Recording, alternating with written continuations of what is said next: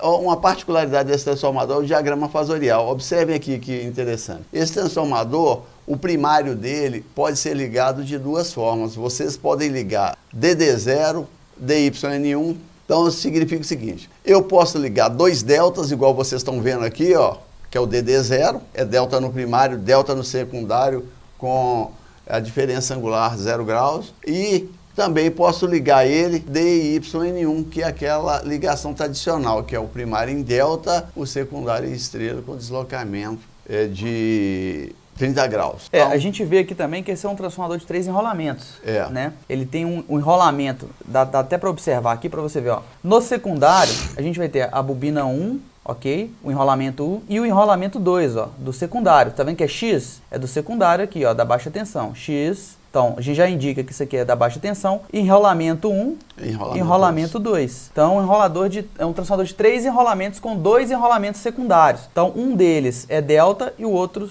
é estrela com neutro acessível. Beleza? É, é, um transformador um pouquinho mais chatinho, porque é o seguinte, quando é que eles usam isso? É, algumas empresas usam ele para fazer o seguinte, o primeiro secundário eles utilizam, por exemplo, na parte fabril. O segundo secundário eles usam ele para serviços auxiliares, que seria uma tensão diferente. Então, uma tensão mais alta para a parte fabril, uma tensão mais baixa para é, a parte de serviços auxiliares. O Henrique perguntou, Hilton Rocha, caso seja feito o ajuste da tensão secundária através dos seus TAPs, é recomendável fazer o ensaio TTR para verificar a correta relação de transformação? Toda vez que vocês fizerem comutação de TAP em um transformador, em campos, seja lá é, onde for, vocês têm que fazer o teste de relação. Por quê? Transformadores mais antigos, às vezes ele tem um comutador na tampa, vocês podem fazer a manobra dele e vocês vão pensar que ele ficou na posição correta. Talvez ele ficou com duas corretas,